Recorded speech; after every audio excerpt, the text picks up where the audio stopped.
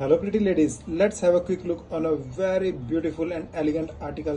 Well, ये pure cotton का article है and look at the neckwork well इसका नेकवर्क ही बहुत ही ज़्यादा प्रीमियम लग रहा है। इसके बीच में प्रॉपर मिरर वर्क भी किया गया एंड बहुत ही फिनिशिंग के साथ ये मिरर वर्क किया गया वेल अगर फैब्रिक की बात करें तो ये प्योर कॉटन का प्रीमियम क्वालिटी का फैब्रिक है जिसके घेरे के ऊपर आप चेक कर सकते हैं। बहुत ही प्यारा एम्ब्रॉयडरी वर्क किया गया है। दुपट्टा इसका देखिए।